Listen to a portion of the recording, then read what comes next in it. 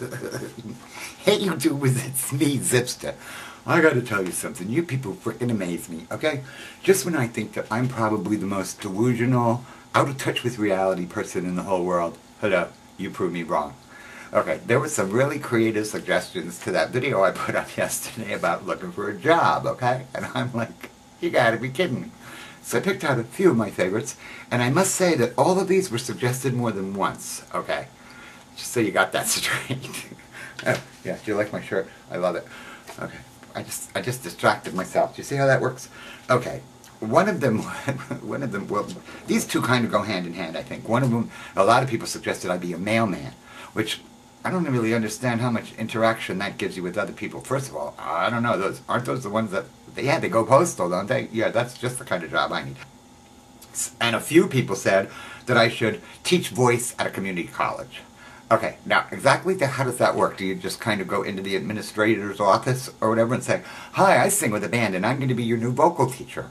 I think somehow you might have to have a little formal training before you're uh, eligible for that job. But yeah, thanks for thinking of me anyway.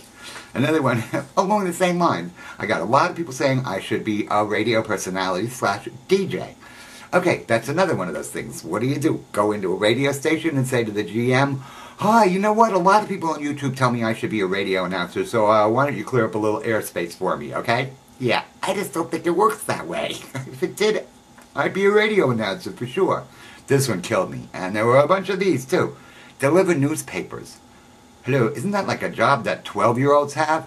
And don't you have to get up like 4 in the morning to do that? God, I don't go to bed till 4 in the morning. Yeah, so I don't think that would work out real good. Then, of course, there was the why don't you work in a bookstore? hello, sign 543 kind of uh, kind of cured me of any idea about working that kind of job, any kind of retail job for that matter. And of course, then there's the, well, you love animals, wanted to work in an animal shelter. You know what would happen? I would have like six dozen dogs and five dozen cats around here if I worked in an animal shelter, because every time it was time for one to get euthanized, I'd wind up taking them home. I know how that goes. Yeah, that ain't going to work. And um, then, of course, there was the obvious choice for someone of my looks and build and personality, uh, become, become a prostitute or an exotic dancer. I mean, you know, of course, that was the first thing that came to mind when I was looking at how can I make a couple of quick bucks. But um, I just have too much, uh, too much dignity and self-pride to do something like that. Otherwise, I would. But anyway, one thing I did decide that I am going to do because someone else suggested this. Why don't I help bands or promote bands.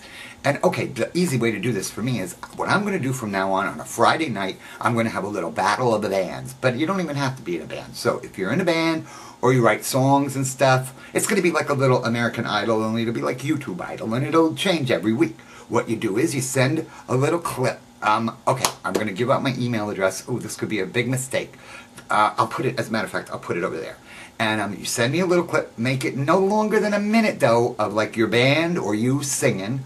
And then every Friday night, I'll put two people up against each other.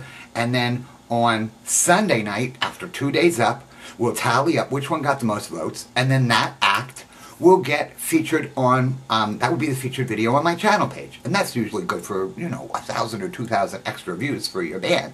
So you can get yourself out there. But yeah, I think it's a pretty good idea. I kind of thought it through, but I know there's always holes in all my ideas. So if you can think of anything where I might have screwed up with the idea, please let me know and I'll revise it.